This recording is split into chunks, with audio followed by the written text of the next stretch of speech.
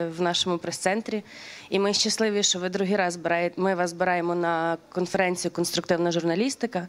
Мене звати Марта Білась, я керівник прес-центру Українського кризового медіа-центру, тобто де ми з вами знаходимося. Ем, Дуже рада бачити таку велику кількість журналістів, і це показує, що ви ті, які вчитеся і використовуєте свої знання, а не тільки ті, які роблять Ctrl-V, Ctrl-C, е, що дуже приємно.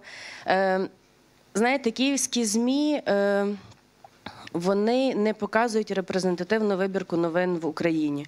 Вони показують те, що відбувається в Києві більшість, і дуже складно відрізнити, хто є хто тепер. Вони втрачають свій почерк.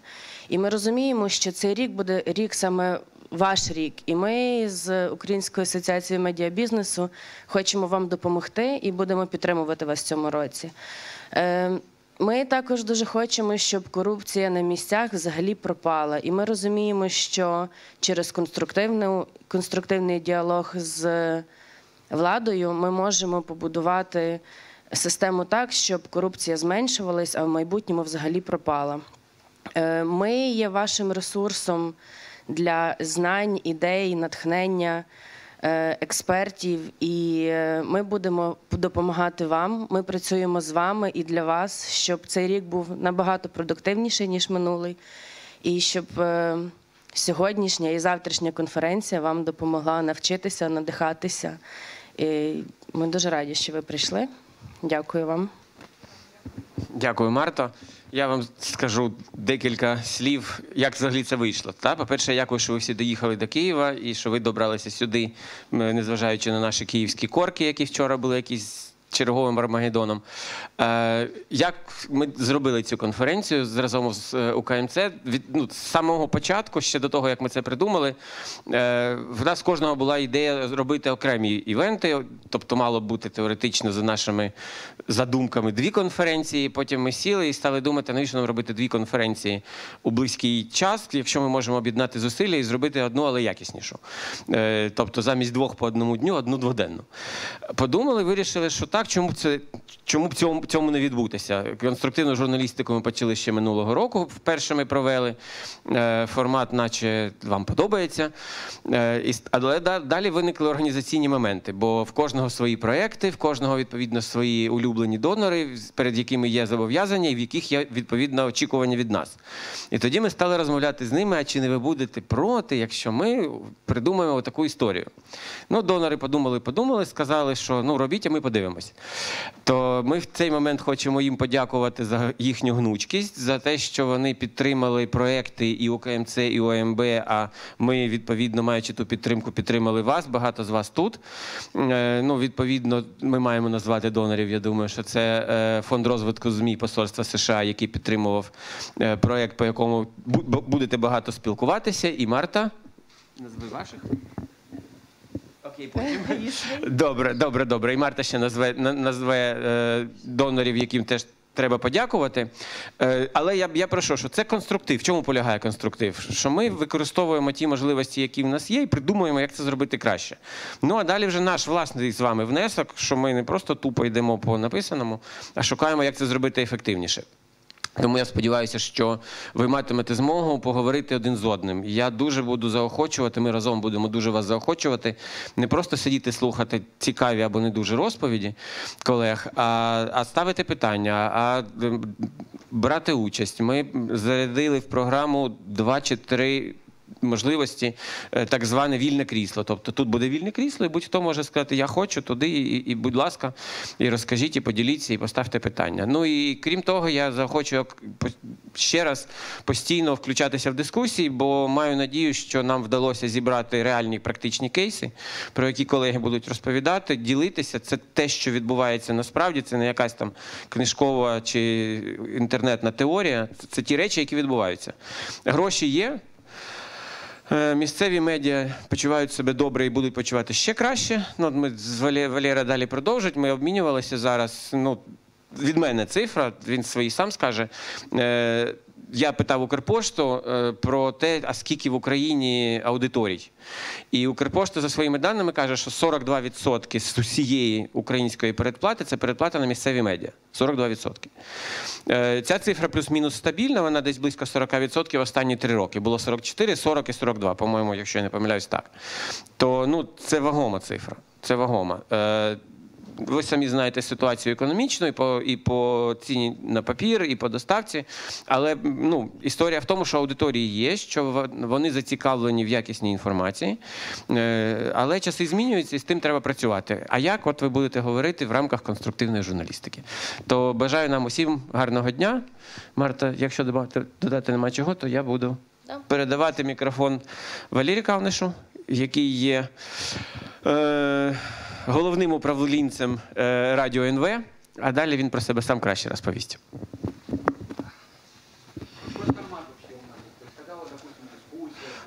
А от давайте, да, давайте сейчас так, по-перше, вітаю. Вибачте, я буду не, не, не, не державною мовою.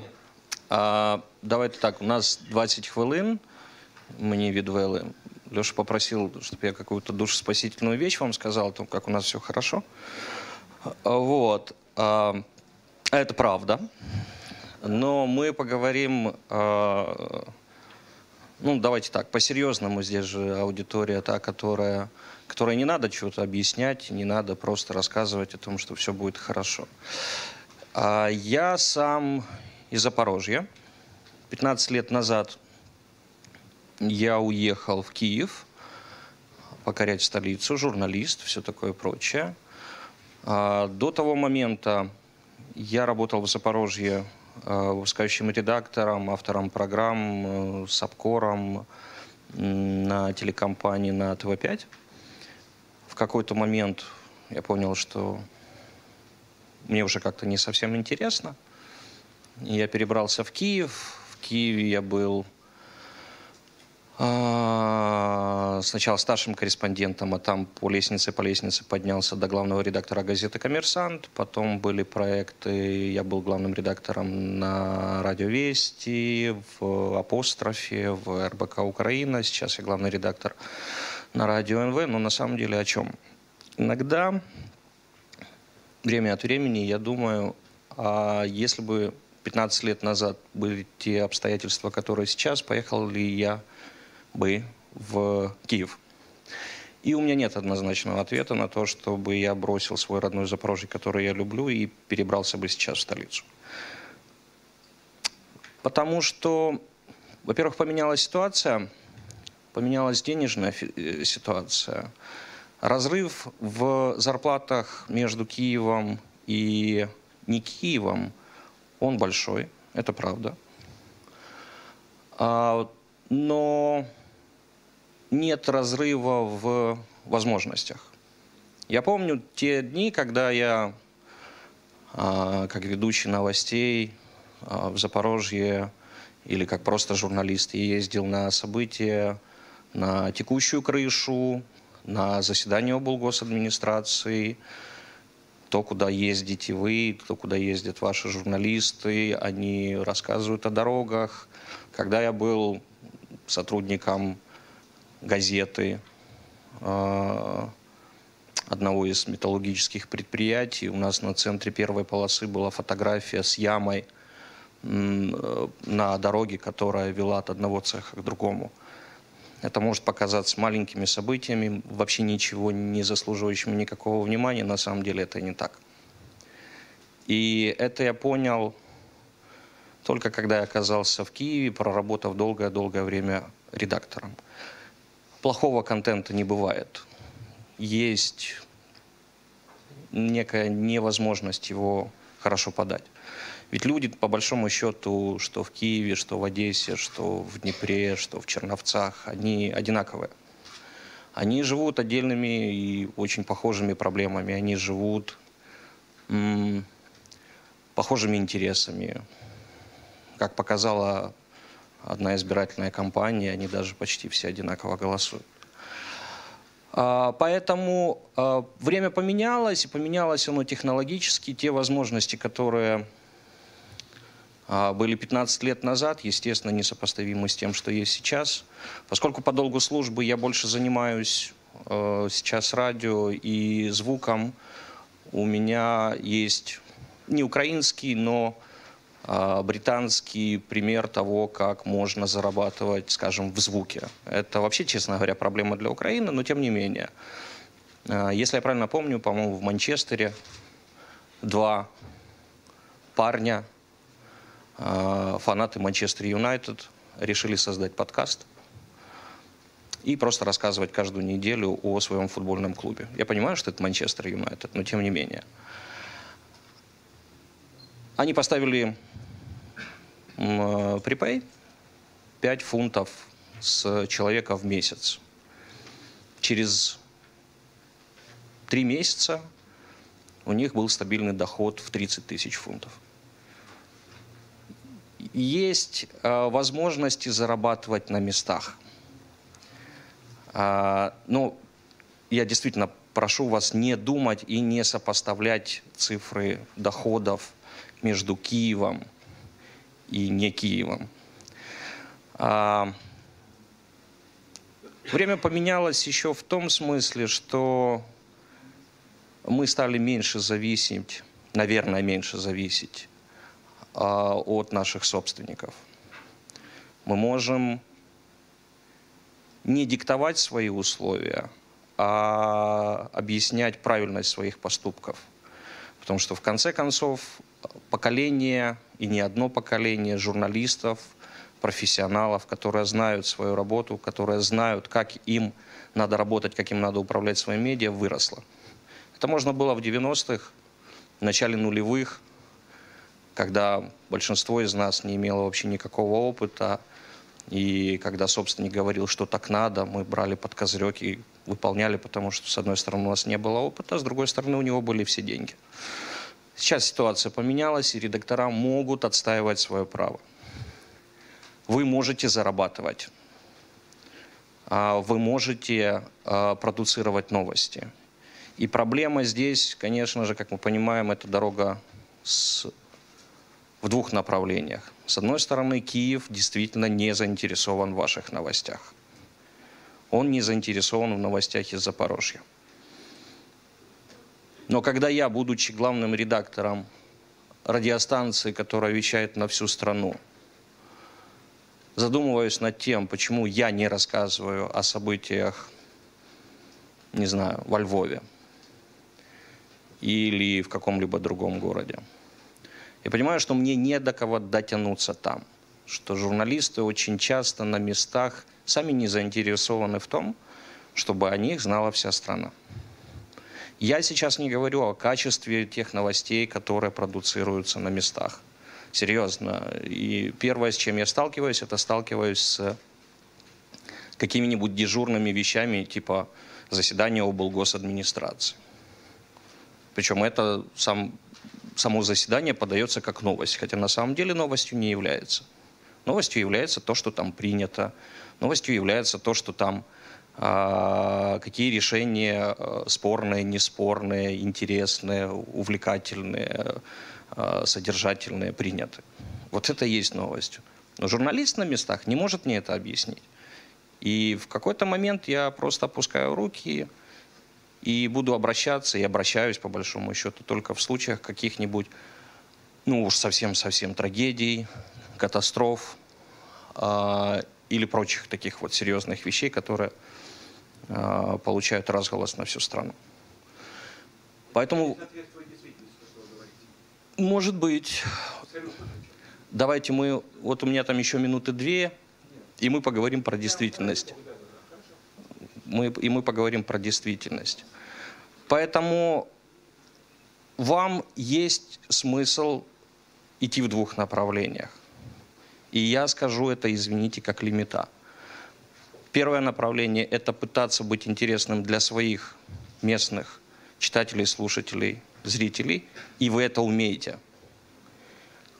Во-вторых, если вас так интересует проявление на центральном уровне, по максимуму загружать редакции, по максимуму загружать центральные редакции. А, К большому сожалению, пока не на каждом центральном медиа есть региональная структура, но есть много региональных журналистов, которые занимаются, там, не знаю, освещают события в двух, ну хорошо, если только в одной области. Я знаю медиа, которые закрывают одним корреспондентом три области. Но Это не совсем хорошо. Поэтому есть возможности зарабатывать, серьезно, они не только в Киеве, они у вас. Когда я а, проезжаю по областям и слушаю свою частоту, я понимаю, что загрузка по рекламе в рекламных блоках, в местных рекламных блоках выше, чем в блоке киевском. Когда местная реклама, соответственно, это местный бизнес, который дает о, в медиа рекламу, ну, в два, наверное, раза, три раза больше, чем в киевском блоке я слышу рекламу. Поэтому это мне наталкивает на мысль, что деньги есть. Освоить их, опять же, это больше философский вопрос. Мне кажется, что освоить их можно за счет хорошего контента. Устоявшуюся схему, которую покинул я в свое время, когда уехал из Запорожья, что их можно освоить за счет джинсы, прогибов. А, Мне кажется, что это время несколько изменилось. Поэтому я пожелаю вам всяческих успехов здесь, чтобы вы услышали друг друга. Опыт, который есть у вас, будет полезен вам же. Вы им поделитесь, и будут, наверное, какие-то нюансы, которые знает кто-то из вас и не знают ваши коллеги. Теперь мы можем перейти к дискуссии. У нас еще есть 10 минут, поэтому можно задавать вопросы. Я постараюсь на них умно ответить. Спасибо. Шановні журналісти, прохання піднімати руки та представлятися для того, щоб ми могли передати вам мікрофон.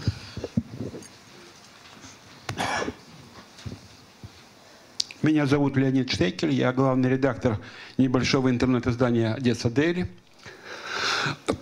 Я хочу сказать, что абсолютно все, что вы говорите, не соответствует действительности. Я прошу прощения за такое резкое это вот, комментарий, но на самом деле так оно и есть. Ну, во-первых, что касается рекламы, значит, э, на мой взгляд, приблизительный, э, 90-95% рекламы находится в Киеве. Выход на рекламу э, в регионах, он ничтожен. Но я понимаю, допустим, Одесса – это специфический город. Я, говорю, я на встрече разговаривал с ребятами из других городов. Там та же самая картина, рекламы нет вообще. Если там много рекламы, это копеечная реклама, вероятно. И подавляющее большинство ее – это реклама, которая не дает денег. В регионах рекламы нет. Она, с- э, режим рекламы сокращается просто темпами, которые даже нельзя назвать. Это первый момент. Второй момент. Относительно событий, которые происходят в регионах. Я понимаю, что политическая система Украины сделана таким образом, что за пределы банковской, банковой э, никого не интересует, что происходит. Это Киев не интересует, что происходит, а не журналистов нет. Я ведь хорошо знаю, как работают наши э, общенациональные э, каналы и медиа в Одессе. Их ничего не интересует вообще. Причем там события, э, собрания в администрации или что-то такое. Их проблемы не интересуют, а не собрания в администрации. Просто оригинальные события на, нас- на общенациональном уровне это пуст- ничего. Понимаете? Ну и кроме того, э, это можно много говорить, я просто не хочу это, это даже отдельно подробно говорить по каждой вещи. И у меня есть э, сразу такой вот вопрос ироничный. Вот это называется конструктивная журналистика. Вот я на протяжении трех лет у нас гранты выдавались за конструктивную журналистику, за то, что мы там хвалили реформы, которых нет. И люди проголосовали, что их нет. А гранты давались только за это. Только за эти самые реформы, которых не существует на самом деле. Вообще ни одной. Уровень оценки реформы теми, кто понимает, что это такое, э, по пятибалльной системе даже двойки не дотягивает. И эм, конструктивная журналистика, чем она отличается от пиара? Вот тут очень много разговоров про джинсу, которые бедные, вот нехорошие региональные журналисты, которые джинсу... А извините, а вот это вот все покрывание этих псевдореформ, которые здесь проходят, э, гранты на эти псевдореформы и конструктивная журналистика, чем она от пиара отличается? От чистой воды пиар. Правительство проводит собственный пиар. И этот пиар э, распространяется по всем СМИ. Никакого отношения к журналистике это вообще даже близко не имеет. Все, я заканчиваю, я не собираюсь долго говорить. Спасибо. Ми збираємо питання чи один за одним? Не, ну давайте так, ответь мне, честно говоря, на просто такую эмоциональную реплику нечего, не потому что нечего ответить. Ну, как- как-то, если вы говорите, что событий не происходит. Сколько там в Одессе? 21 телекомпания? И 38. И они, наверное, что-то показывают. 38. Это не является бизнесом. Самая главная вещь, что украинская журналистика не С самого начала я сказал, не надо сравнивать объемы рекламы, которые есть в регионах, с киевскими. Это глупо. Это неправильно. Больш- Большие байеры, послушайте, большие байеры, да, действительно, они не дойдут. Какой-нибудь Procter Gamble не дойдет до Одессы. Он закроет все на центральных медиа. Я говорю о местной рекламе. Да, спасибо. Дякую, Наталя Зворигіна, Запоріжжя, Да, землячка, Да, здрасте, Запорізька правда. Ну, користуючись нагодою, що ми беремо участь у е, конструктивній журналісті, ну саме тема конструктивна журналістика, маю таку конструктивну пропозицію. Тільки я перша з цією ідеєю, і в черзі буду перша. Я всіх пропоную вже шикуватися в лави. Я головний редактор, ви головний редактор. Давайте зробимо таку, скажімо, експериментальну угоду про співпрацю наших ЗМІ, вашого на центральному рівні, мого на локальному рівні щодо контенту. Я, наприклад, зобов'язуюся вам поставляти там, як ми домовимося, раз на день, чи раз на тиждень, чи кілька разів на місяць якусь таку забойну інфу. А от ви її будете у себе використовувати. З вашого боку, давайте діліться зі мною рекламою. Я готова на проценти. Ми можемо взяти у посередники асоціацію медіабізнесу. Пан Олексій тут сидить. Він може взяти координаційну роль на себе теж за якийсь процент. І ми будемо з вами так е, ну, ділитися між собою. Ви Да, будете Наташ, ну зацікавлені. по-честному, это, это ж не совсем рациональный и честный Ну обмен, чому? правда? Ну чому? Ну чому? Ми говоримо про те, що е, вся реклама, ну більша частина, от колега виступав, я в певній мірі поділяю його думку. Ми по-іншому на, на місцевому рівні ми не здобудемо ту рекламу. Ми її не здобудемо. Ви свого боку, спілкуючись з нами, співпрацюючи, можете для рекламодавця великого такого виступити певним, ну скажімо, умовним, але гарантом того, що ми реальна, реальне змі, яке робить реальну справу. І більше того, в моєму випадку я єдине українськомовне видання в Запорізькому регіоні. Мене дуже пресує влада. В мене вже два судових позови у Верховному суді проти облради і проти облдержадміністрації щодо роздержавлення і таке інше. Ну то таке. Ми вистоїмо. Але таким чином ви будете підтримувати ту саму реформу, якої, як каже мій колега, немає. Вона буде, але ми можемо її тільки самі зробити цю реформу. За нас ніхто не зробить цю, цю Я роботу. понял. Дякую. Наташ, Наташ, давай, да- давайте проясним. Я не являюсь государственным медиа. Я не являюсь реципиентом государственных денег. Я зарабатываю за счет той рек- Я зарабатываю за счет той рекламы, которую в том числе я собираю в регионах. Я собираю в регионах. У меня в Запорожье, если я правильно помню, закрыты все рекламные блоки. Закрыты. И эти деньги, и эту рекламу слышат только в Запорожье. Только в Запорожье. Это, это сетевая реклама, которая работает в каждом медиа. Я каким-то образом ее собираю. Делиться той рекламой, которую я собираю в Запорожье с запорожским медиа, я не готов. Мова не про ту рекламу, що ви в Запоріжжі збираєте, то ми самі зберемо. Вот. Центральний, наприклад, Procter Gamble, він не працює на Запоріжжі. Він працює з центральними. Правильно, и он работает с центральными телевизионными каналами.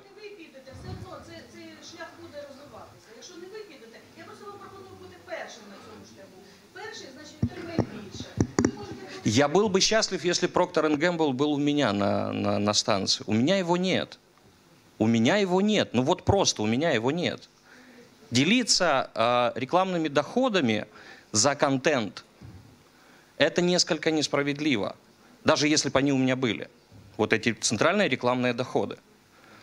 Вы выступали агрегаторами для региональных СМИ, агрегаторами общенациональной рекламы. Это было очень важно. Ну, это к рекламодателям. Я главный редактор, я отвечаю за контент. Он заинтересован в этом, пока никто не заинтересован. Колеги, завтра буде Зоряна Якимчук. Хто знає цю леді? Раз, два. Хто ще знає Зоряну? Три? Все? Чудово. Чотири? Три-чотири людини з 52. Я дуже раджу, дуже уважно вислухати пані Зоряну і поставити всі незручні питання про рекламу, яку вона, як власниця і директорка рекламної агенції Медіа Регіон, яка, мабуть, е, через себе пропускає найбільший рекламний потік реклами в місцеві медіа. Про все спитайте пані Зоряну. Вона є і агрегатором, і вона, на відміну від Валєри, є особою зацікавленою у вас. Е, а, ну, а свої тези пізніше скажу, щоб Валеру не збивати. Да, но у нас там еще 4 минуты, потому что я же, я про деньги немного, да, но я больше про контент. Я новостищик с самого начала. И я говорю вам про ваши новости. Потому что вы мне их не даете. Нет, вы мне их не даете. Ну вот видите, мы-. Они хотят только вода пролилась, катастрофа водяная, пожар. Остальное не интересует А у нас вообще. берут, вы знаете, не только про сами. Ну вот, а я говорю, что у нас берут. Я знаю, прекрасно Ну все, вот, кто берет. может быть, это все-таки дело не только в национальных каналах, но и в вас. Ну, Колеги, у нас на цю панель залишається три хвилини. Давайте ще одне питання. Е, Телекомпанія СТС місто Суми, я головний редактор. Я б хотіла просто доповнити ну, стосовно колеги з Одеси. Е, Ми співпрацюємо з каналом Прямий. Ну тут неважливо, хто його власник. Просто ми раз на тиждень надсилаємо їм найбільш яскраві та найважливіші новини нашого регіону. Раз на тиждень вони виділяють нам ефірний час, і ми їх транслюємо. Тобто ми показуємо наші новини на всеукраїнському рівні. ура. Е, Давайте ще швидко. Так, дякую. Павло Солодовник, Чернігів, Член Медіагруп. Стосовно контенту, от ви чудово сказали, що немає нецікавого контенту, є неможливість цікаво, цікаво його подати. Е, декілька разів брав участь у подібних е, конференціях і дискутував з колегами стосовно. Е, контенту і нинішніх е, читачів, глядачів, у кого є. На- От хотілося б почути вашу думку, і як саме на вашому ЗМІ. Тому що ну, я представляю інтернет-журналістику, і е, з року в рік є така тенденція, що читачі, як би ти класно не написав про щось серйозне, аналітичне, е, якусь серйозну тему підняв. Воно нікому не потрібно. Це тобто е, людина заходить, ну по кількостях переглядів це можна легко перевірити, і читає там е, два речення: хтось когось вбив, зґвалтував, хтось повісився, там е, вода прорвала чи ще щось.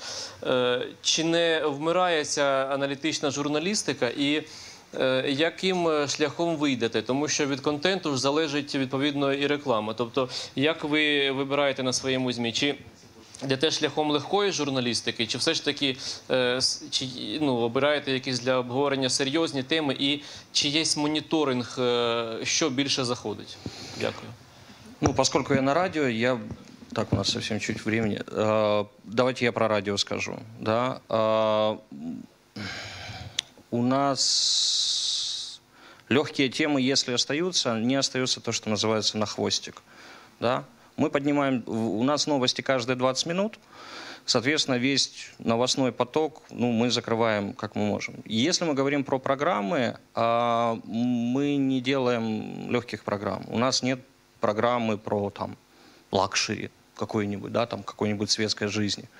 Хотя, может быть, ее надо сделать в общем потоке. Э, Одна из самых популярных программ, где, кстати, продавалась э, реклама, именно партнерская реклама, это была программа «Близкие места».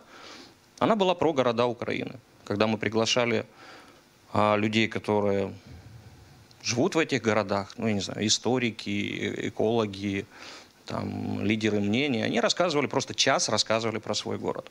И эта программа заходила, и у нас, по-моему, какой-то внедорожник купил там рекламу. По поводу умирающей, неумирающей аналитической журналистики, я думаю, что здесь все-таки мы оказались вот в этом вихре, который идет на убыль. А, Заголовки, 140 символов. Мне, во всяком случае, так хочется верить в это. Они уходят в, в небытие.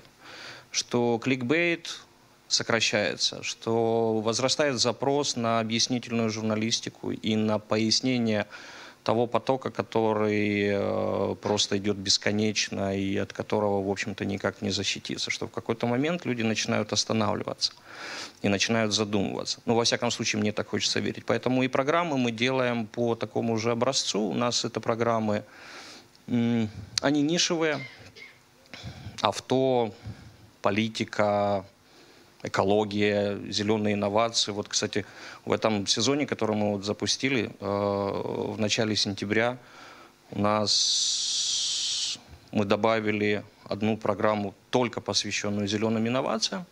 Ведет ее Леша Рябчин, бывший народный депутат. А, и одну про стартапы.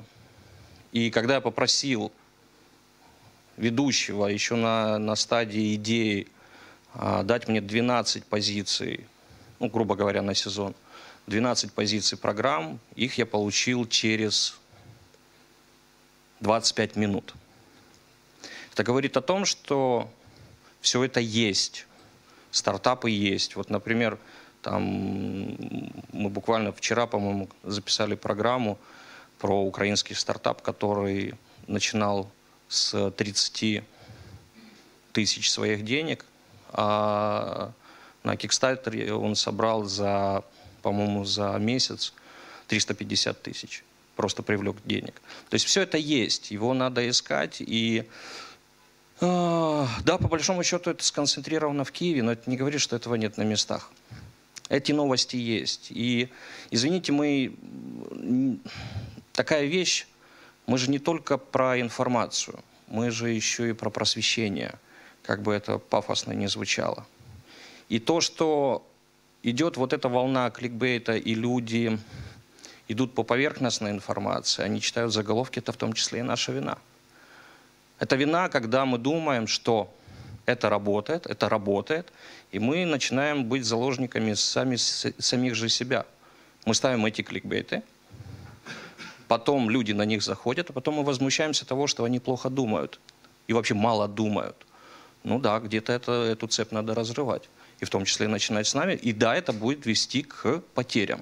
Но тогда вы получите более лояльную, более стабильную, я надеюсь, более денежную аудиторию, чем просто те люди, которые зайдут покликать по заголовкам «убил, повесился, изнасиловал». Дуже Все. дякуємо вам, пане Дякую Валерію. вам. Будемо відпускати і одразу переходити до наступної панелі. У нас ще багато роботи сьогодні. То, оскільки у нас наступна панель, я запрошую спікерів зайняти свої місця. Зараз я щось придумаю з стульчиками. Дякую. Панелісти, знають, хто має бути? Я можу назвати поіменно. Лариса Гначенка, Людмила Шклярук. Заберу, да. Людмила Шклярук, Юрій Ісаєв і Оксана Танащик.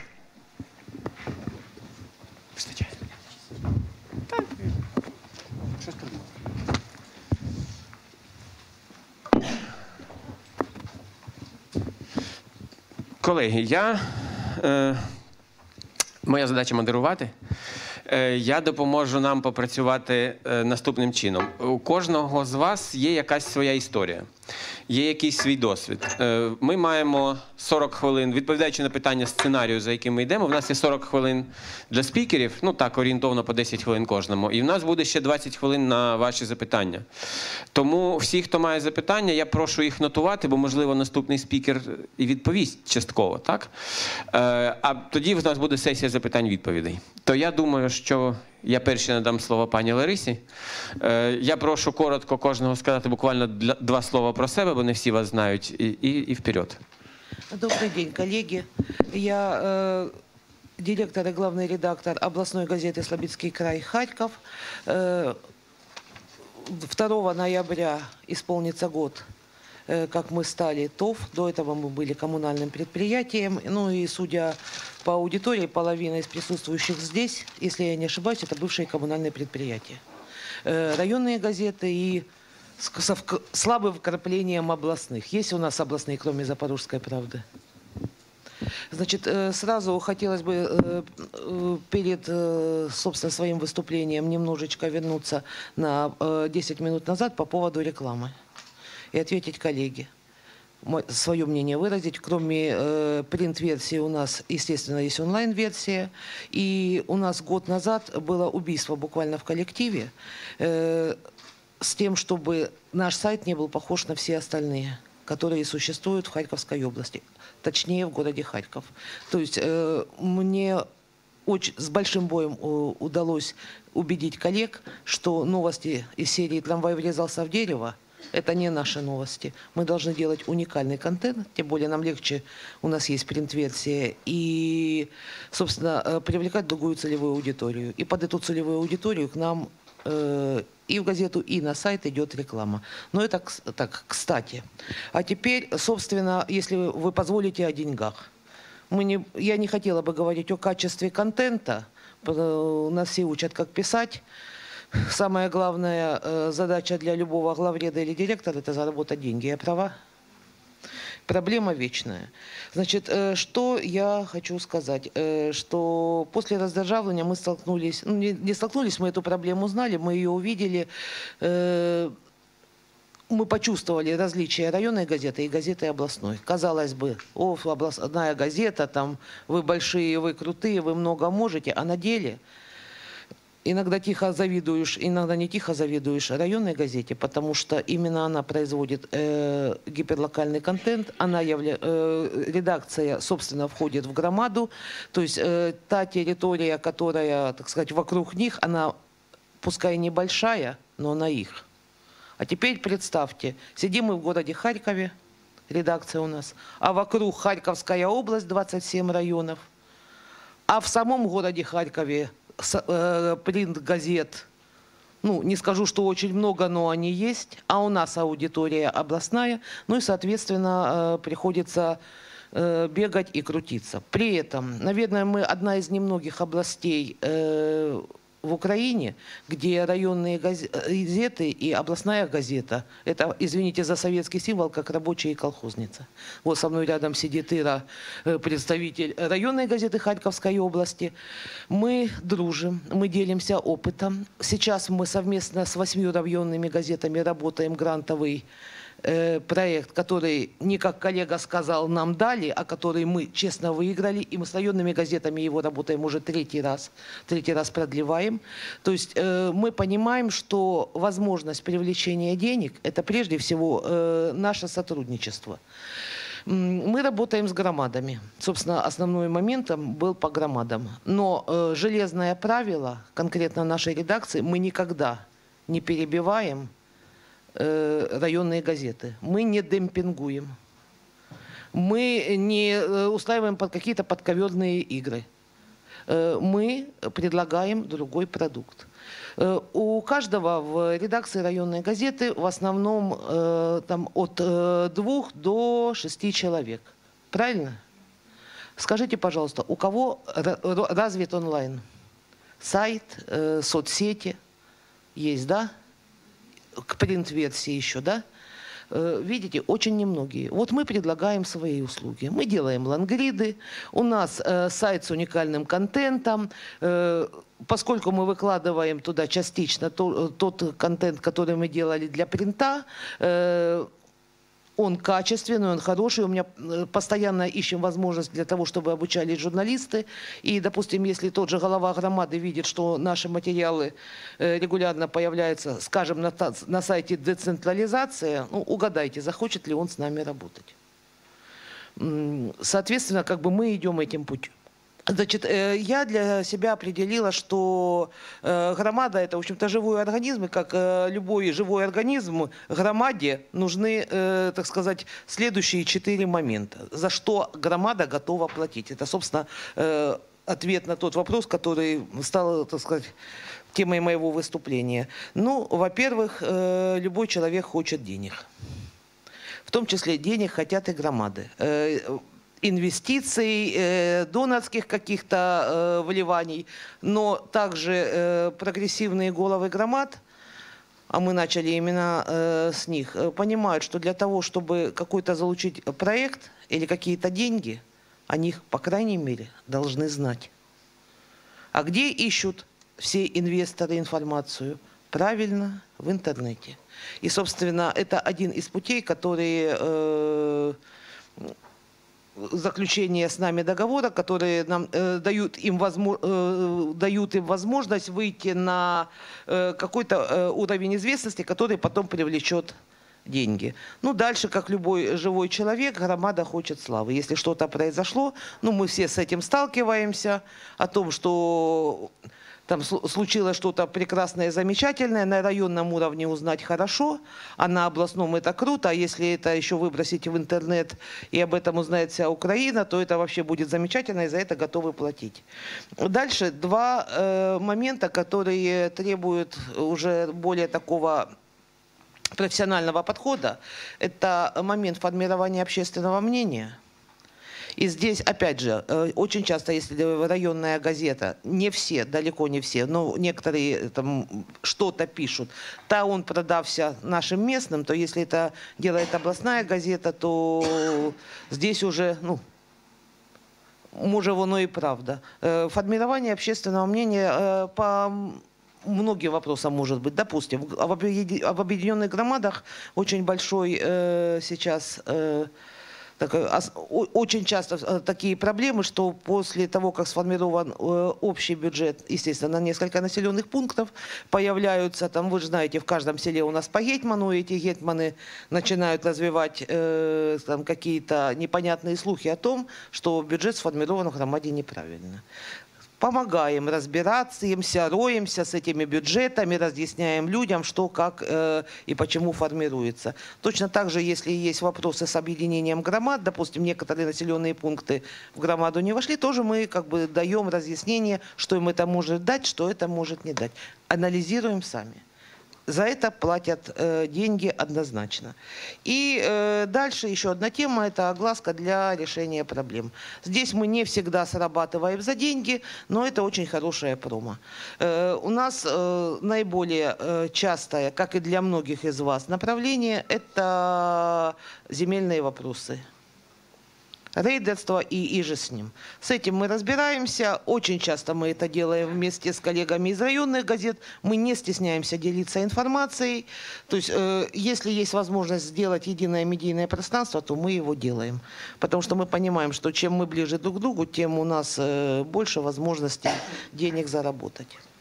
Вот. э, Как я уже сказала, э, мы с э, районными газетами частично делаем медиапростор, э, частич- э, занимаемся грантовой деятельностью совместной, и сейчас мы налаживаем э, единое медийное пространство, рекламное пространство. То есть мы на пути того, чтобы сделать общий прайс, и дальше как бы на взаимовыгодных условиях здесь сотрудничать.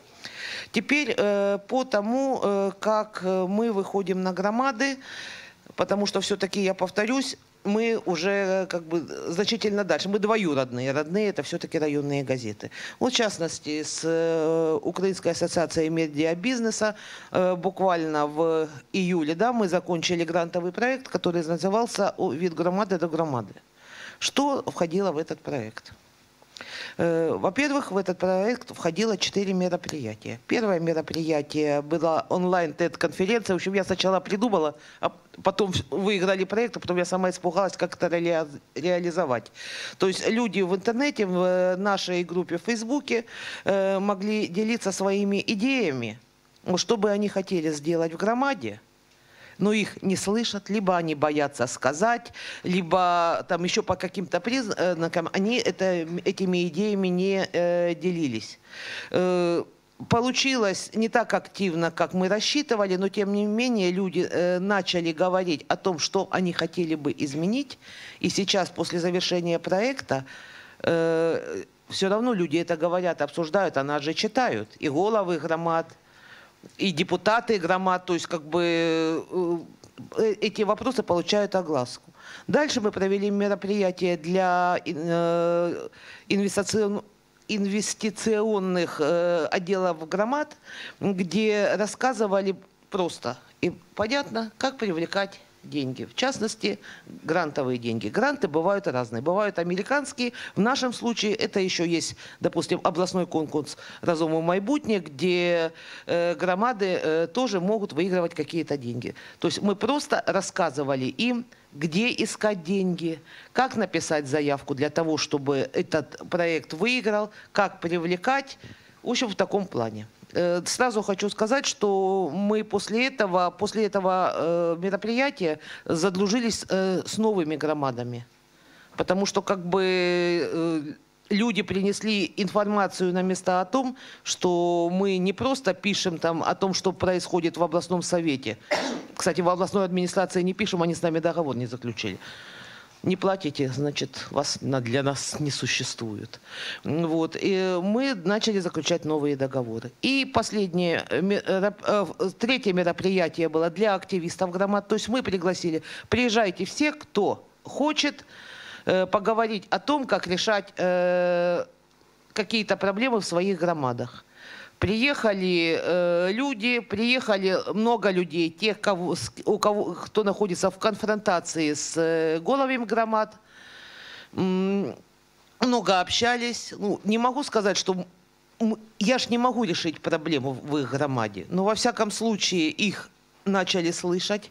Там, в частности, завязка была по увеличению неоправданному тарифов в одной из громад. То есть уже, как говорится, втихаря не получилось. Опять же, это завязка под людей, это рост э, нашей аудитории. В данном случае это уже пошло э, в Фейсбуке. И последнее было у нас самое веселое мероприятие для редакторов э, районных СМИ. Мы общались э, на тему, нужен ли громаде голос. Но мы вообще не упускаем случая вместе собраться, потому что фишками мы друг с другом делимся постоянно. И у нас нет позиции, вот я такая крутая областная газета, я все знаю. Есть вещи, которым я постоянно учусь у коллег, коллеги учатся друг у друга, но надеюсь и чем, чему-то у меня. То есть мы работаем постоянно во взаимодействии. Вот. Э, Я здесь привезла несколько газет для того, чтобы вы посмотрели, какие проекты грантовые мы делаем. Мы сейчас работаем по двум проектам. Один проект по выборам. Мы это сделали. У нас развеселая есть семейка Слободенко, это анимированные персонажи. Мы делаем комиксы, мы начали делать видеоролики. Ну, вы сможете там по ссылке пройти на э, страницу в Инстаграм посмотреть. У нас есть сейчас э, евроинтеграционный проект, который мы работаем вместе с районными газетами. И у нас э, вот только мы отработали, э, как я уже сказала, проект СУМАМП. Значит, что э, это дает для привлечения негрантовых денег? Все равно э, наблюдають, наблюдають громади, е, наблюдають за уровнем. І раз їм хтось гроші дав, значить вони ж молодцы.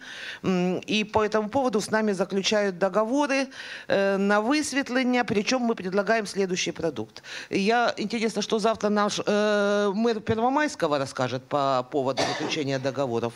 Вот, но... э, потому что у нас вопросы. Но сейчас э, самый главный э, момент. Что мы предлагаем?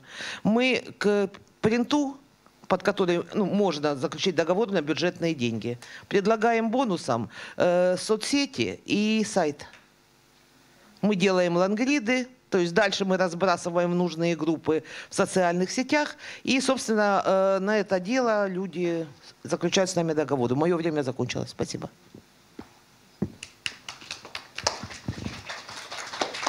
Е, Доброго дня, мене звати Оксана Тонощик. Я буквально от ще менше місяця, здається, як головна редакторка обласної газети Буковина. Це дуже стара газета. Вона з 1885 року виходить. Це перша україномовна газета в області, і тому дуже специфічно, оскільки є своя аудиторія, тобто люди, які читають її 30, 40, 50 років. Є журналісти, які працюють тут. е, так само вже по 30 і більше років, і змінювати щось насправді дуже складно в цій ситуації, і складно е, бути почутою, тому що е, я молодша від всіх працівників там на знову ж таки там 20-30 років, і доносити їм щось доволі складно і переконувати в чомусь. Але е, попри це, газета увійшла до медіахолдингу. Е, З телеканалом ТВА, так само ми взяли радіостанцію, маємо соцмережі та сайти, і тепер працюємо таким концерном потужним, що допомагає нам знаходити якісь так само нові можливості і нові шляхи. Як казала колега, що відійшли від таких новин про ДТП, про якісь витоки, про якісь кримінальні новини. Ми так само стоїмо більше на аналітиці, на якихось дослідженнях, на журналістських розслідуваннях. Е, Більше можу розказувати зараз е, про досвід телеканалу, в першу чергу, який ми потрохи так само перебираємо на газету, але є, ми відчули цю другу сторону аналітичної журналістики, другу сторону е, журналістських розслідувань, оскільки місто невелике, і дійшло до того, що ми опинилися в якійсь ізоляції від певної частини влади, яка найбільше від нас потерпала. Та? Тобто, коли ми говоримо про якісь зловживання грошима, про якісь корупційні схеми, про якісь.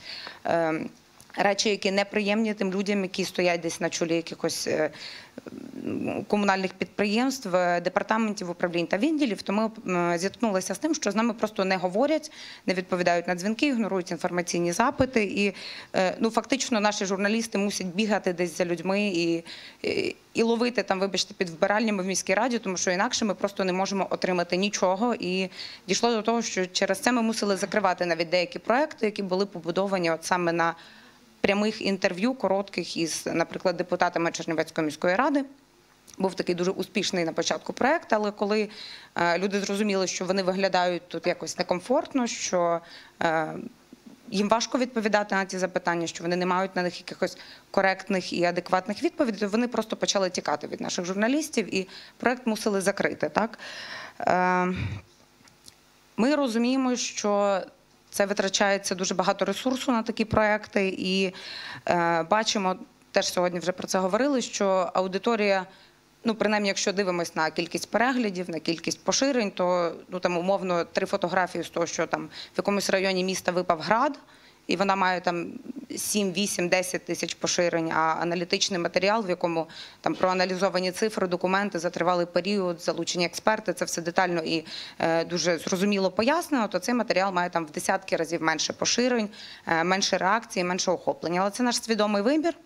Тому що ми розуміємо, що є люди, які хочуть отримувати таку інформацію, і розуміємо, що мало хто її дає, мало хто працює з документами, витрачає на це час, е, працює з цифрами і, і просто готовий це аналізувати. Тому ми обрали такий шлях для себе і знаємо, що наша аудиторія, хоч і менша в такому сенсі, але вона вдячна, і що ми маємо з того якісь результати.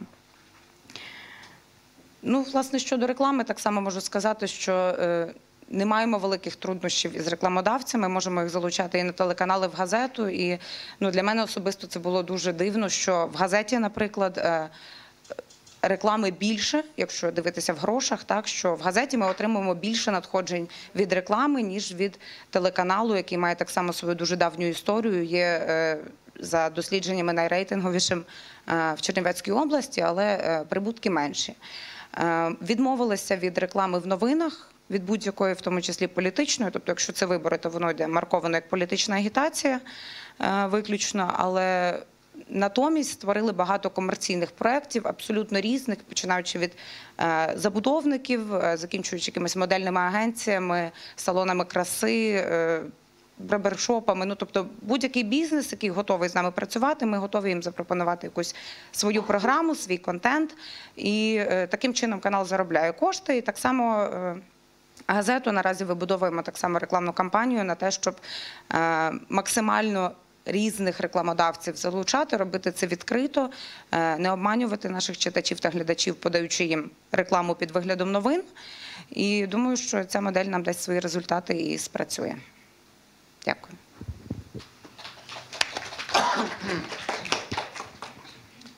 Можна включити? Ми тут з села приготували презентацію. Доброго дня, колеги з четвертої влади. Чи замислювалися ви над, тим, чому цей термін зазвичай беруть у лапки? Мабуть, тому що засобом масової інформації одночасно є і владою, і такою не зовсім владою. Якщо законодавча, виконавча і судова, перша, друга і третя гілки влади використовують у своїй роботі засоби примусу для того, щоб е, люди виконували владні вимоги, то ми з вами позбавлені такої можливості взагалі. Лише переконливість, привабливість, щирість аргументації привертає на нашу сторону прихильників та послідовників.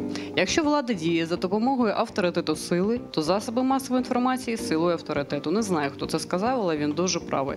Тож, медіа як сервіс. Чи можуть місцеві засоби масової інформації стати творцями інформаційного порядку денного? Чи потрібно це громадам і хто готовий за це платити? По-перше, що таке інформаційний порядок денний? Я коли готувалася для цей термін, відкрила для себе вперше.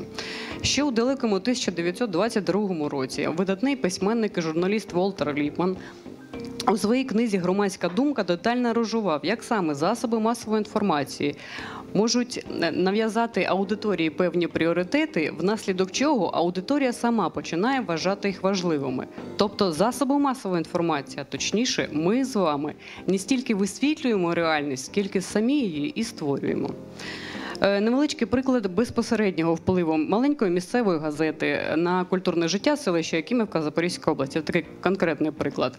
Минулого року колективом нашої газети було прийнято рішення в рамках передплатної кампанії на наступний рік, е, так сказати, наробити трохи рекламного шороху у центрі.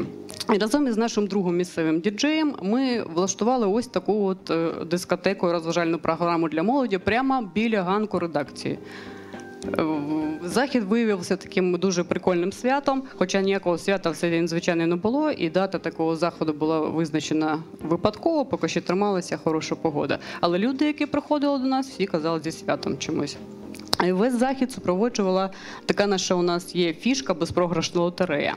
Суть лотереї ось в чому. Купуєш рекламний магнітик е, з надписом Я люблю СТ. СТ це абревіатура нашої газети слово трудівника за 20 гривень. І одразу тут же отримуєш якийсь там приз, шоколадку, там мандаринку, ну таке інше.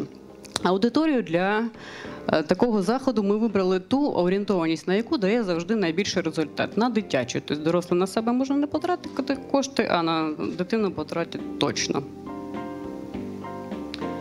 Е, Чи досягли ми мети рекламної акції? Збільшення передплати сказати невідомо. Бо на квитанції ж не написано. Я виписав газету, бо мої діти танцювали у вас на дискотеці. Але друзів нових ми придбали це точно. Де ми взяли гроші на призи? Пішли по спонсорах. Зазвичай ми робимо там. Йдемо до спонсора, ділимося своєю ідеєю, отримуємо від нього гроші чи призи. Увесь цей захід, всю цю дискотеку ми не витратили на неї ні копійки своїх коштів. Все. І з моменту проведення організації до самого кінця е, забезпечили наші спонсори.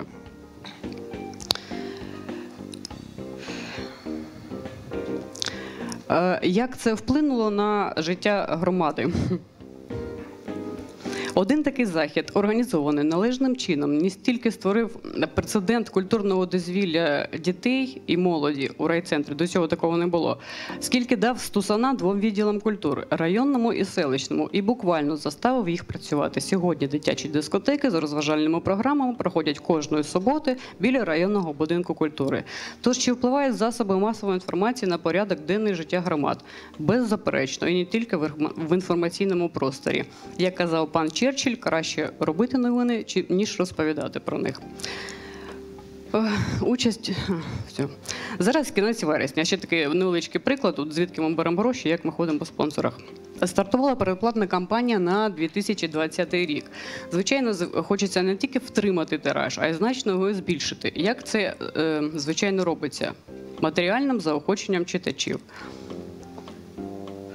Інструментом розіграш призів за передплату зараз не користується тільки ледача. А де знову взяти кошти на такі от призи? Іти по спонсорах. В цьому році ми вирішили перевірити, як е, наша газета впливає на громаду, і звернулися до депутатів Якимівської селищної ради. Ну так, по- пошли по путі найменшого сопротивлення. Е, Із пропозицією оплатити один приз для одного передплатника, тобто взяти участь і повністю покрити наші витрати на оці призи. Е, Хочу сказати, що із депутатського корпусу із у 26 осіб лояльно та по-дружньому до нашої газети ставиться близько 15. Знаєте, скільки призів ми вже назбирали? 21. І збір ще не закрито. Суми такі від 300 до 15 тисячі гривень. А тепер до нашого грантового проєкту. Вибачте, я трохи хвилююсь. Е, На початку 2000-х у нашому Якимівському районі, мабуть, і як і в багатьох інших, ще працювало е, місцеве телебачення. е, вечірнє по 5 годин на метровому каналі. Дуже популярне і страшенно дороге. У 2002 році районна влада за браком коштів вирішила його закрити. І разом із цим зникла відеоісторія із життя нашого краю. Стар- Старші мешканці району добре пам'ятають, що десь колись бачили по телевізору, як президент України особисто на нашій Якимівській землі відкривав запуск природного газу. Я теж пам'ятаю, що був такий відеоролик, але знайти його не можу. От навіть за гроші готова купити, але його нема. Був на якійсь касеті у директора колишнього директора телебачення. Був і зник. А разом із зник зникла історія нашого краю. У 18-18 роках ми зробили таку попитку повторити якимось телебачення і своїм коштом та із залученням відповідних спеціалістів випустили у світ близько 20 відеороликів про якісь там яскраві життя е, нашого району. Розмістили їх на нашому сайті, в інстаграмі, на Ютубі, ну у всіх соціальних мережах, і вони отримали схвальні відгуки і багато перепостів. Але коли наше ще на той час комунальне підприємство е, на виконання закону України пройшло процес роздержавлення, перетворилося на приватне, кошти в нас закінчились, як і закінчилися створення от таких от відеоісторій. Саме тому ми подали заявку на конкурс для роздержавлених місцевих медіа від Української асоціації медіабізнесу. е, з з надією, що ми його виграємо. І у квітні цього року ми виграли свій перший в житті грант. Хочу сказати, що ніякого досвіду написання грантових проєктів до цього у нас не було взагалі. Тому і заявка спочатку виявилася такою, ну не дуже прописаною. Але завдяки вже сподіваюся нашим друзям Олексію Погорєлову, Олі Сергієнко, Світлані і Оксані Лободі. Після правок і уточнень Лох-візитівка громади, так ми назвали свій проект, е, отримала шанс на життя. Здавалося, отримати кошти від партнерів із посольства США було найважче. Але коли перший транш очікуваних коштів впав на наші рахунки, ми зрозуміли, що паперова офісна робота на цьому закінчилася. І треба виходити в поле і дійсно щось робити по цьому гранту.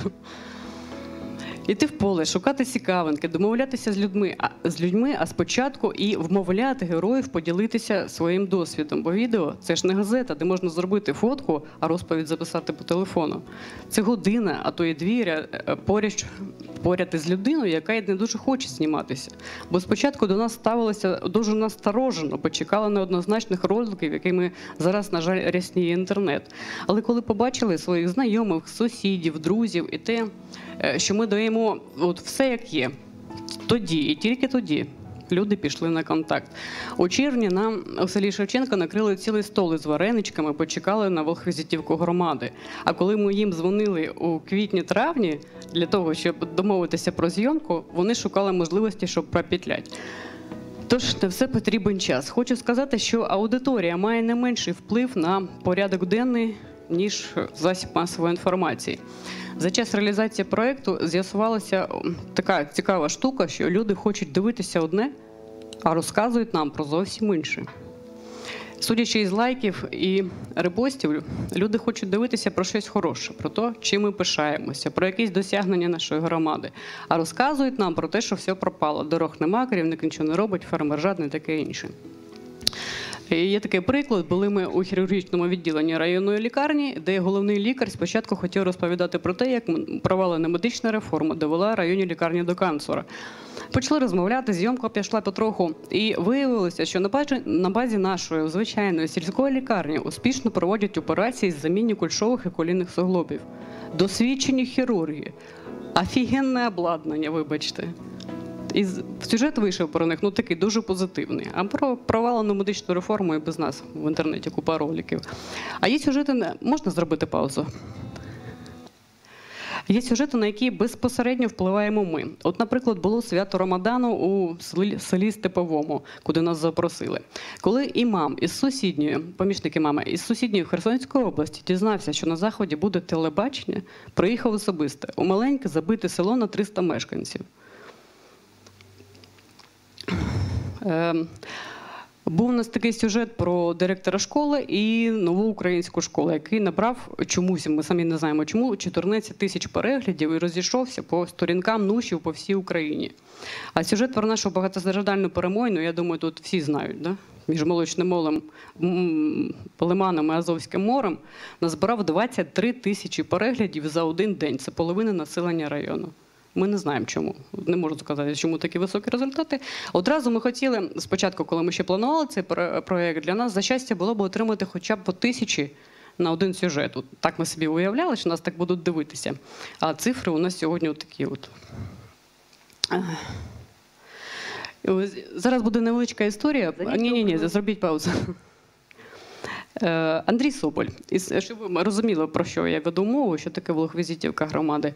Андрій Соболь, скромний хлопець із Розівки, 23 роки.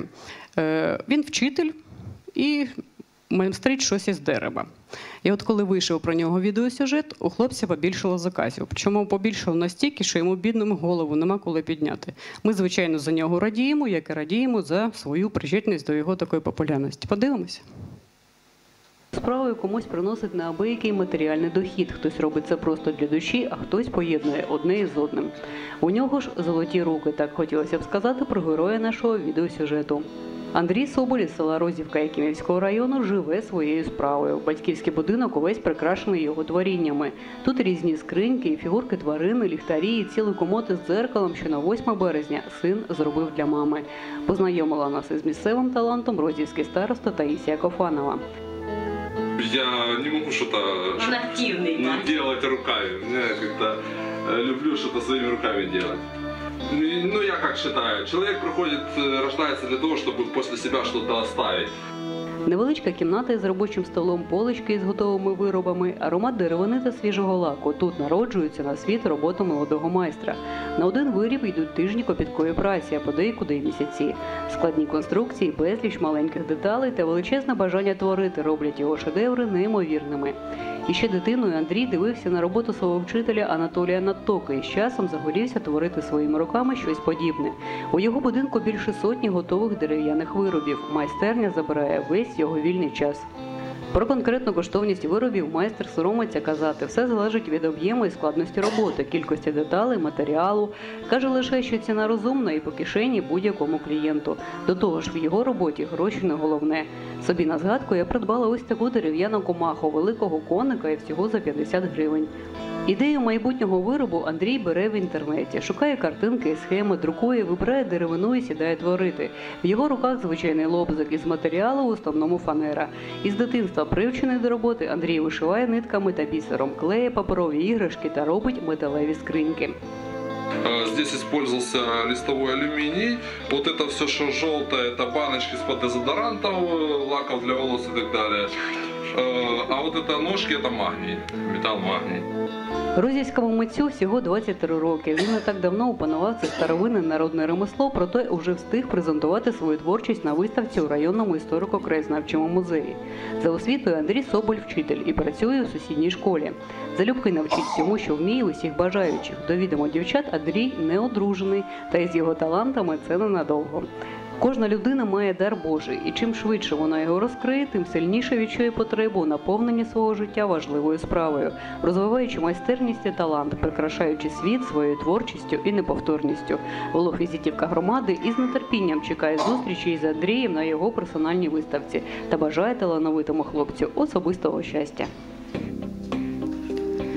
Чи вдалося нам залучити меценатів завдяки цьому проєкту? Скажати важко, скоріш за все, і завдяки цьому проєкту також. Сьогодні наша газета представляє широкий спектр послуг. Ми навчилися друкувати на футболках і чашках, власноруч мотати солодку вату, організовувати, проводити різноманітні культурні, спортивні, розважальні заходи, виготовляти сувенірну продукцію. Вам напевно цікаво, що ми всього цього маємо матеріального. Ну, тут можна сказати так: ми придбали нових друзів. Дуже важко матеріально оцінити телефонну розмову, де на другій стороні слухавки через сльози вдячності людина розповідає, як дивилася перший в житті відеосюжет про себе. Є щось, мабуть, набагато більш матеріальне, ніж- гроші. Це довіра і повага. Останнім часом редакція отримує дуже багато схвальних відгуків від представників влади, працівників соціальної сфери, національних меншин, наших знайомих, знайомих наших героїв е, влогу. І це нас дуже радує. Буває, перестрінуть просто посеред вулиці для того, щоб подякувати. Ми за час виконання цього грантового проекту познайомилися, ну, мабуть, із більше ніж сотнею цікавих, працьовитих, от ось таких людей, як Андрій. І побували в операційній на заміні суглоби, в старовинних храмах, в підземеллях, в полі, у каморі, а разом, із нами там побували тисячі наших глядачів. І запевняємо, оці записи із хмари ніколи не зникнуть. І наша історія, наша відеоісторія буде жити у цифровому форматі. Медіа-центр слово трудівника, влог візитівка громади і мешканці всього Якимівського краю щиро дякують як Українській асоціації медіабізнесу та фонду розвитку ЗМІ Посольства США в Укра- Україні за можливість реалізувати цей медіапроєкт. Ще трохи, і саме поняття паперова районна газета відійде в історію. Це вимога часу. Чи зникне наше вже 90-літнє слово трудівника? Категорично ні. Зміниться формат. Буде це сайт, блог, електронна розсилка чи влог-візитівка громада. Громади із- поруч із нами завжди будуть люди. Тому і нарощуємо ми сьогодні не гроші, а дружбу. Бо, як казав великий класик, зв'язі рішають все. Успіхів і нам, і вам на шляху творення інформаційного порядку денного, добрих друзів, надійних партнерів та креативних ідей. Дякую. Доброго дня. Ну, я Юрій Ісаєв, радник е, з комунікації Полтавського центру розвитку місцевого самоврядування. Е, Моя е, презентація, включіть, будь ласка, да. Остання фраза мені сподобалася, що підуть небуття. Я якраз буду розказувати, як можна створити газети і заробляти. Е, І в мене досвід роботи в друкованих ЗМІ більше 20 років від власкора військової газети до директора маленької асоціації видавців українських.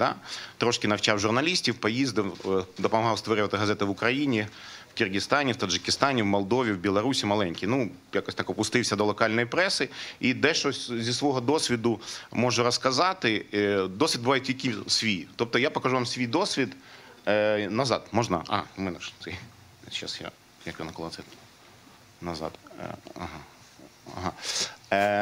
Тут дуже гарний приклад буде, як в багатому районі втратити шанс, як в бідному його залучити. Тобто я узагальнив якісь речі, які ми зараз можемо побачити. Дивіться. Е, Ну, реформа децентралізації, яка йде там вже четвертий рік, виходить на фінішну пряму, я думаю. І основні передумови створення нових класичних медіа в районі. Класичних я мав на увазі. Чому? Тому що тут будуть дві газети представлені в районах, які виходили на весь район. Нові. Е, Невдоволення контентом існуючих видань. Ну, є таке. Потреба населення в альтернативному джерелі інформації. Підсумки місцевих виборів. Це 15, 16 там і далі. Бажання ОТГ мати своє медіа. Особливо ті об'єднані громади, які створені ну, один район, одна громада, є такі. Е, Наявність рекламодавців для принту. Да, дійсно, вони ще залишаються рекламодавці, ну не дивлячись на скепсис колег, все такі є рекламодавці, які е, рекламуються тільки в принті через довіру населення старшого віку до, до цієї реклами. Це відповідно, і я сам був свідком, коли черги стояли за якоюсь ерундою, типу собачих носков, які були надруковано в газеті. Ну, бабусі там, окуляри. Е, кадровий потенціал залишились журналісти, залишились молодь, яка закінчує вуз і факультети. Ну і реформа роздержавлення підштовхнула відповідно до створення е, таких е, цих. Е, так, зараз я. Зараз щось ми перескоч, перескочимо. Щось у мене. А, ні, от ми. Ага, ми зараз, зараз. Я не трошки у вас не розібрався з цим. Допоможіть мені, як там. Ага. Так, є. Е, дивіться, е, я тут розкажу, як створилась газета е, в одному з районів. Значить, е, ініціатором виступили місцеві фермери, які захотіли випустити газету як альтернативу діючій районці. Тобто е, ми провели зустріч зі спонсорами, домовились про, по календарному плану, як ми будемо робити. Е, Мені дали кілька людей, яких я навчив писати і ну, писати, готувати матеріали. Дехто був з досвідом, дехто ні. Е, е, Одночасно замовили виготовлення концепт макету видання. Ну і почали працювати. По суті, е, щось тут. Ага, ось. Е, Це газета Семенівського району. Е, Так склалося, що чергова влада довела до того, що в районі не було зовсім районної газети, приватна виходила, і невдоволена частина, так би мовити, району захотіла свою газету мати. І заснували газету під назвою Голос громади. Семенівський район один з найбідніших в Полтавській області. Е, Унікальний досвід: 12 засновників створили ТОВ ТРК. Е, Гроші внесли в залежності від банку землі. У кого найбільше, то найбільший внесок, у кого 300 гектар найменший. Створили редакцію і по суті, дали мені 10-12 людей, не пам'ятаю. Я навчив їх там основам журналістики, і вони оце випустили перший номер там три роки тому, якраз вийшла.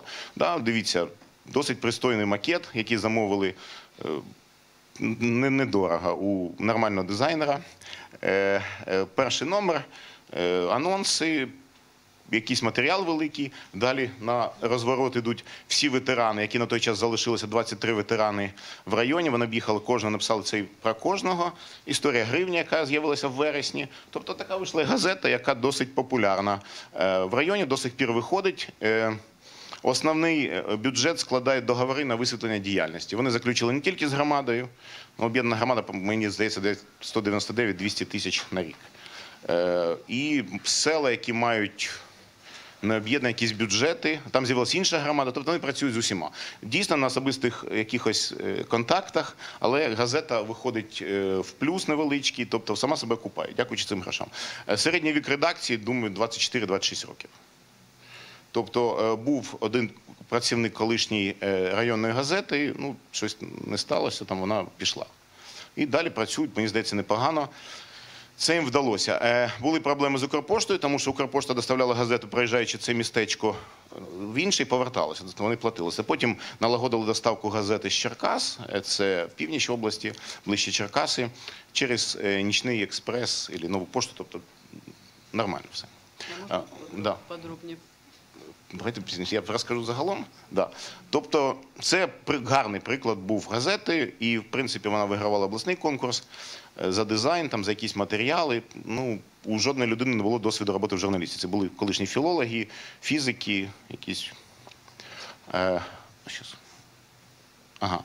Це друга газета, е, яку минулого року розпочали в багатому районі. Там було 5 ОТГ. І ідея виникла від е, створення бюлетеня громади, виросла в обласну газету. Новосанжарський район, 5 ОТГ, багато грошей в районі, великі паї, найбільші плати за паї, нафтовики, газовики працюють. Тобто, по суті, район е, досить благополучний. Е, Тим же шляхом пішли е, виготовлення концепт-макету, навчання людей, відбір людей. Да, я забув сказати, що в першій редакції створили редко- редколегію за участю засновників, голів ОТГ, якихось людей, які збираються раз на місяць і пропонують напрямки співпраці. Тобто, ну, вони платять гроші, хочуть контролювати, не вказують. Тобто, до, до, е, якось вдалося домовитись з ними про компроміс. Е, Я не вмію сіяти зерно, вони не вміють робити газету. Тобто ми зразу. І не ліземо один одному не, е, е, так би, не підказуємо. Е, Тут інша, значить, дивіться, вийшов е, номер, м, інший трошки макет. Он вітають голови громад, відомі письменники, народні депутати, футбольний тренер Ворскли, яка заслужена вчителька. Тобто, по суті, досить яскрава газета, е, яка трималася по суті на одному на одній людині, фермер небайдужий. Одна громада допомагала, іншою вагалися. Е, ну, це розворот, восьмиполосник. Е, е, ну, трошки злукавили. Ми піш- пішли перший номер по перші номери десь два місяці по передплатниках районки. Розповсюджували, щоб на фоні районки здаватись більш сучасною, більш цікавою. Ну, це була офіційна угода з Укрпоштою, ніяких законів. Якраз е, напередодні Великодня вийшла газета, такий розворот цікавий. Бачите, це звичайний директор. Директор. Ні, а перший номер перший місяць безплатно, чи два, чи три. Про моделі розкажу. Та газета по передплаті йде платно, де фермери, де самі. Цей три місяці йшла безплатно, а потім перейшли на передплату.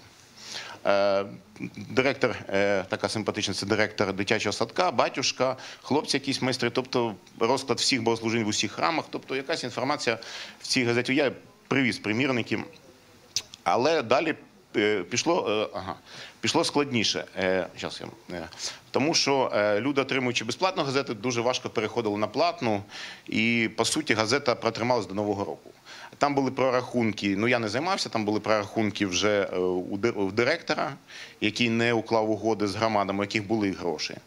Ну, середній бюджет такої газети виходу на рік ну, десь 800 тисяч. Щоб вийти в ноль, 800 тисяч треба було. Їх можна було знайти, ну, можливо, не бажання.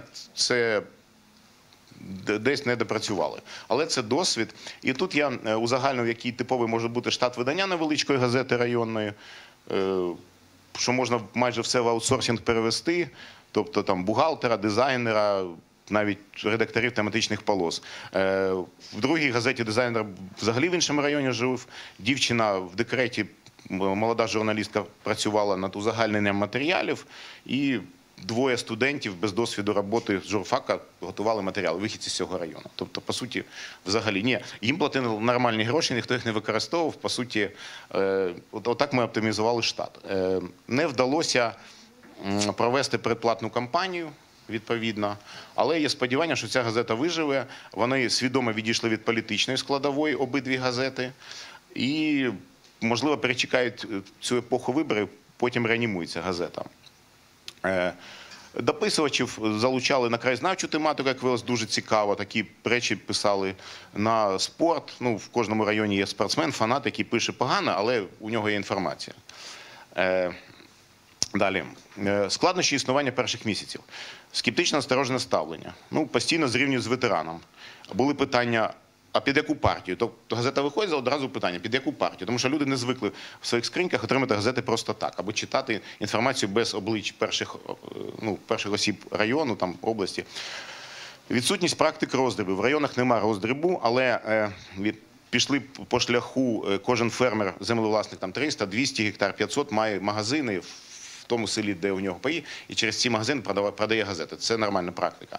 Ну, кадровий потенціал, да, дійсно.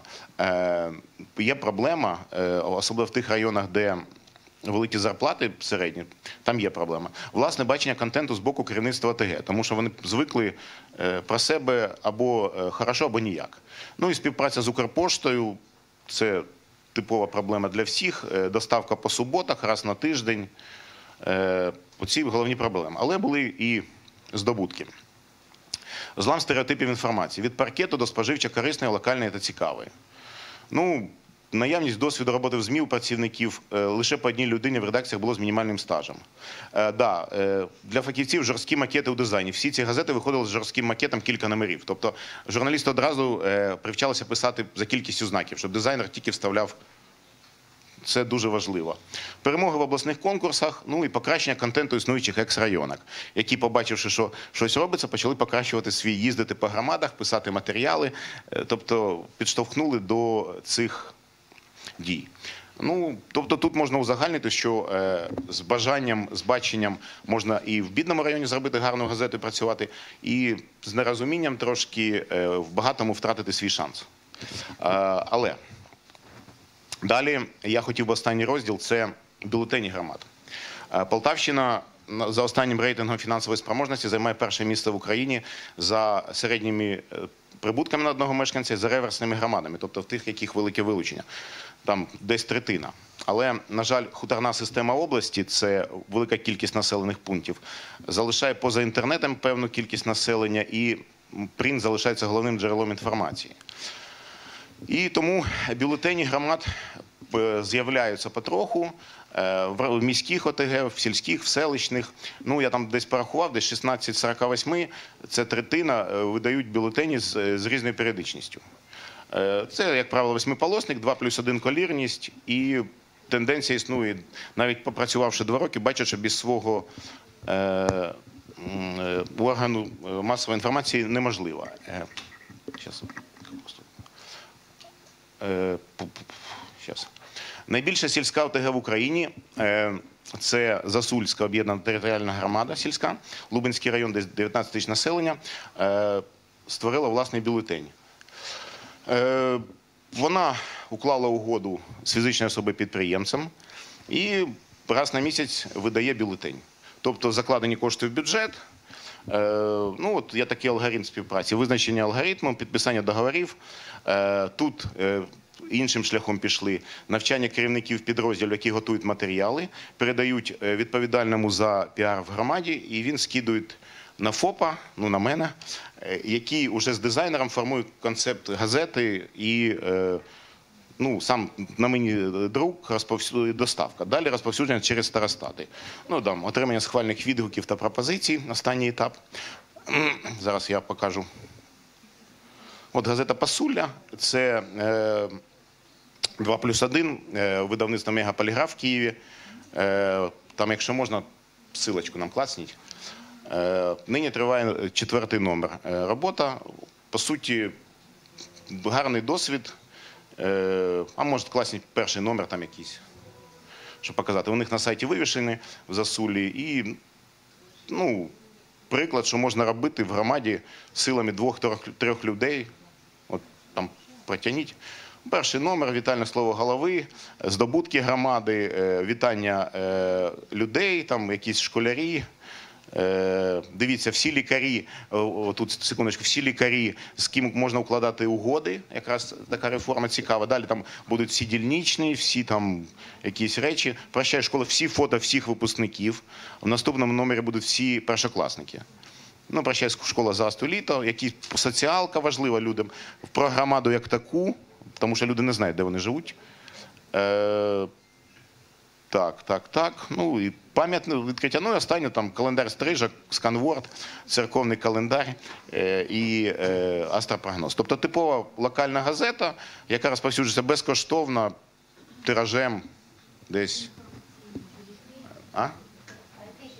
Е, Дві тисячі. Е, Це, Юра, це бюлетень, от питають? Так, бюлетень. Інформаційний да, бюлетень, да, інформаційний бюлетень. Да, ну, ну бюлетень. Що?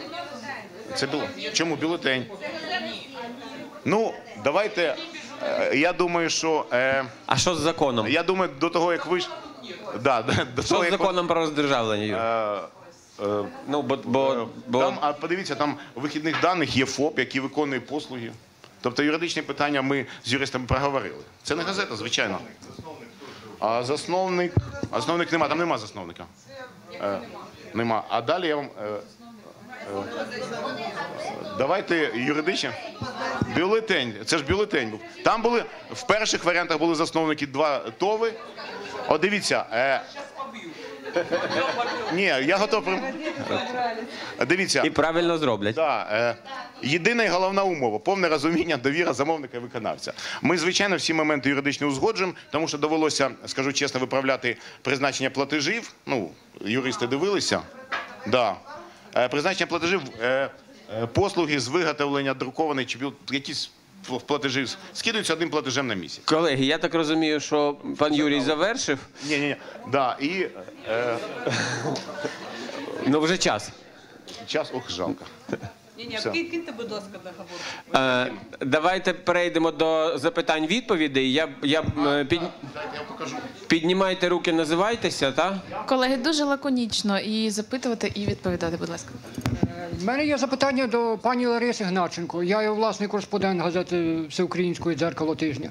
Е, Ви сказали цікаву думку. Раз вони нам не платять, вони для нас не, не існують. Тобто про обласну е, раду чи адміністрацію. Адміністрацію. адміністрацію. Е, Скажіть, будь ласка, чи не краще було писати про них, критикувати і е, в такий спосіб залучити більше рекламних коштів? Чи то мій підхід вже зовсім застарілий? Э, Ну, коллеги со мной согласятся, что плохо мы пишем бесплатно, а вот хорошо, то, то, то мабуть, платить, особенно в случае с нашим губернатором. Хто наступний? Прошу. Е, Мене звуть Тетяна, у мене теж до вас запитання. Мене зацікавила ця співпраця обласної і районних газет. Розкажіть детальніше на практиці, що саме? Значит, Як э, співпрацює? ну, во-первых, мы обмениваемся контентом. Э, Очень много информповодов э, нам подсказывают районные газеты. Э, Мы не стесняемся говорить, что они либо наши соавторы, либо они наши авторы. Вы увидите, вот я привезла несколько газет, вы увидите, что коллеги из районок у нас благополучно печатаются, если того как бы достоин материал. Точно так же они берут наши материалы. Дальше э, по грантовым проектам я уже сказала. Э, Мы третий раз работаем с районными газетами грантовый проект. Мы являемся аппликантом. Э, Вместе с районками выступаем единым э, медийным представителем. Э, Сейчас называется «Великий Еврочеллендж». В частности, вы тоже сможете это увидеть. Э, Дальше, если у нас э, возникает тема по рекламным проектам, Ну, в частности, знаем все замечательное слово Барабашова. Вот у нас э, в прошлом году был проект, э, который мы делали с Барабашова и несколькими районками, но уже на выбор Барабашовский. То есть, вы поймите, легче э, с одним человеком разговаривать, чем с 28, как в нашем случае 27 районок. Поэтому приходят рекламодатели. Ну вот у нас на той неделе был разговор, но еще он не закончился. Рекламодатель говорит, что вот мне нужно размещаться у вас, и нам, мне еще нужна одна газета. Ну вы же понимаете, сразу звонок другу не в Харьковскую газету. А на что мне та Харьковская газета? У меня есть любимые районные газеты. Переговорили, договорились, сработали. Либо наоборот, человек приходит куда-то в громаду, слушайте, а у вас тут такое, а может на область? Ну, вы дальше поняли, да? То есть, как бы мы друг друга в этом плане страхуем. Э, Соответственно, как бы дальше я людей многих не знаю. Я звоню и говорю, Ир, ну вот этот голова громады, мне с ним предстают, предстоят какие-то переговоры. Что он себе представляет? Э, Психологический портрет двумя предложениями. Либо наоборот.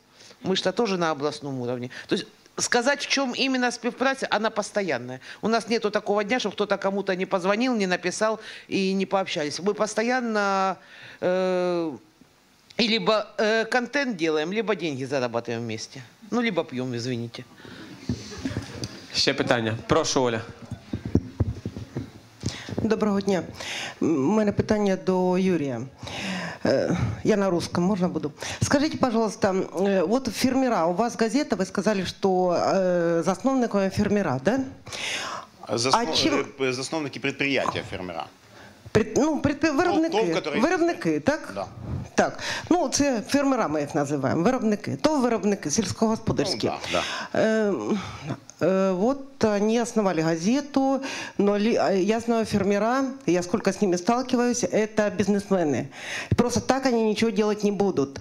То есть, если они основали газету, они не, не, не альтруисты. Что они требуют или получают взамен? А, Они взамен получают в той пропорции, в которой они вкладывают деньги, э, информацию о их предприятиях и днях села. Как правило, дни села, ну, э, единственный тут может быть дисбаланс.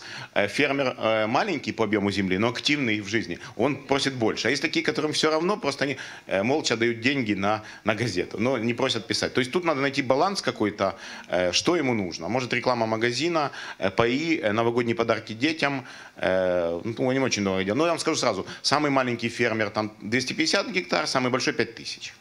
Вот пул из 12 человек, из них три депутата областной рады с разных фракций. То политический момент там они убрали сразу. Ну, вот так вот. Я, если я не прав, Юра, ты меня поправь, пожалуйста. Я думаю, что стратегически вот этому коллективу фермеров самое главное, вопрос, чего они боятся, это земельная реформа. Они с помощью своей газеты выстраивают лояльность с кстати. людьми, властниками паев, которые эти паи отдают им в аренду. Потому что они переживают, что придет Кернел или какой-то другой большой землевластник, скупит землю, и они потеряют средства производства. Кстати, а через газету они, они удерживают людей. Э, Кернел, Кер- Кернел со своей газетой тоже в районах есть. В, в кожен двір, по-моему, называется. Следующий вопрос. Да. Е, Людмила Кучеренко Стельмах, президент Полтавського медіаклубу. Е, Я просто знаю цю ситуацію із Семенівською газетою, і там вона трошки інша. Коли зникла е, колишня районка, то е, заснували е, частина, частина агровласників цього району заснували свою газету і вони проводили свою політику. Ті фермери, які були, ну там як район поділився пополам, можна сказати, да? От, і вони заснували свою газету, щоб проводити свою політику, тому що це як ну, один пахан є, і треба було щось протиставити. Це щодо Семенівської газети Голос громади. Я хотіла сказати інше. Я не знаю, чи погодяться зі мною колеги, але моя така думка, що е, бюлетені і газети ОТГ такий жахливий повтор радянської преси, коли е, не можна тоді в тих газетах, я застала цей ще період, да, коли не можна було критикувати радянський лад. І от точно так же тут тільки позитив, тільки позитив, все узгоджено, як пан Юрій сказав, все узгоджено, всі матеріали. Да, узгоджено Якщо можна не із- перебивати, бо в Да. нас мало часу. Дякую. з керівниками ОТГ узгоджуються, м, як раніше носили в обком компартії всю газету, прочитували, щоб там критики не було. Так само ходять зараз е, ФОПи. Да, чи Дякую вам. редактори. Да. Час, От, вибачте. а, а проблем, а проблем в ОТГ дуже багато, і вони практично ніде не висвітлюються, хоча мали висвітлюватися в оцій газеті ОТГ. Це за логікою. Дуже вам дякую. Я так зрозумів, що це репліка. Я дуже перепрошую. У нас є репліку. Е, Ми візьмемо, ми візьмемо ще одне питання. На ці два разом відповімо і закриємо цю панель. Я вибачаюсь. Пан Терлецький. Е, Питання до Якимівки. Не багато в чому подібні до нас за населенням, мабуть, за територією. Ось е, завдяки проекту вашому ви е, розповіли, що здобули багато друзів, прихильність, ну такі фактори. А я більше приїхав послухати про монетизацію. Трішки у вас все-таки гривень додалось чи ні? Звичайно, тільки вони прийшли не напряму. Ось ми там, не знаю, як вам пояснити. От були ми зніма... на Опитні у нас це такий мікрорайончик за Якимівкою. Я по-русски, на русский перейду, хорошо. И там есть депутат Шайхудинова, женщина такая в возрасте, очень хороший человек. Она депутат действительно от Бога, там решает проблемы своей территории, маленького такого микрорайончика. То есть, ну, человек на своем месте. Мы поехали, сняли про нее сюжет. Когда мы обзванивали депутатов для того, чтобы собрать э, призы на розыгрыш к телевизору, вот мы позвонили этому депутату, и она, естественно, за любки видала нам гроші, согласилася і підбила своїх колег. Ну, я не знаю, можна це читати прямим, по- м, е, прямым поступлением денег или нет, но деньги мы получили. Мы получили деньги на призы, за счет чего сейчас ведем рекламную кампанию. Деньги получили? Получили. Все, результат есть. Е, коментарій був короткий. Е, Да, щоб завершити тему Семенівського району, трошки неправильна інформація. Коли до мене дзвонять з редакції, а ми будемо писати о тому, що тот фермер проводить, тобто опонент. Звичайно, будемо про день села. Тобто вони не критикують іншу половину в своїх матеріалах, щоб завершити тему. Це є суспільно важлива е, подія для села. Значить, пишемо. Ну дійсно, район поділений на дві частини фермерів, і зі зміною влади хтось стає пріоритетом. Е, щодо бюлетеню, тут же бюлетень не газет. Тобто е, це можливість газетам заробляти гроші. За що платять? Громада платить. Тобто 16 громад чудово платять, суми різні. Кому цікаво, я потім розкажу. Я думаю, що колеги, Це я не думаю, є що газета. це є пи- заробіток для газети додатковий. Юридичні питання, як пан Юрій, як ФОП узгодив із громадою, якій заборонено засновувати. Я думаю, що, що ми винесемо це питання за межі цієї панелі, бо я дуже вибачаюсь, у нас завершився на цю панель час. Я хочу передати мікрофон наступному модератору пані, пану Роману Виборновському. Давайте подякуємо нашим панелістам. Так, шановні колеги, одна хвилина на зміну декорації, і ми продовжуємо. Е, колеги, я хочу додати наступне, та, поки зміна декорації. Часи змінюються. От ми живемо в час, коли вони змінюються. Певні речі, до яких ми звикли, не працюють. Працюють певні речі, яких ми ще не знаємо. І, і тому я запросив колеги. Наступна панель так само буде. Ми запросили колег, які мають досвід, яким вони діляться, що в них працює. Вони так чесно, ви бачите, і кажуть: оце спрацювало, оце не спрацювало, а тут ми ще не знаємо. А тут у нас отака співпраця. Ну, будьте уважні до цих деталей. Є речі, які дійсно працюють, про які ми може не знаємо. Все, передаю мікрофон Роману. Дякую.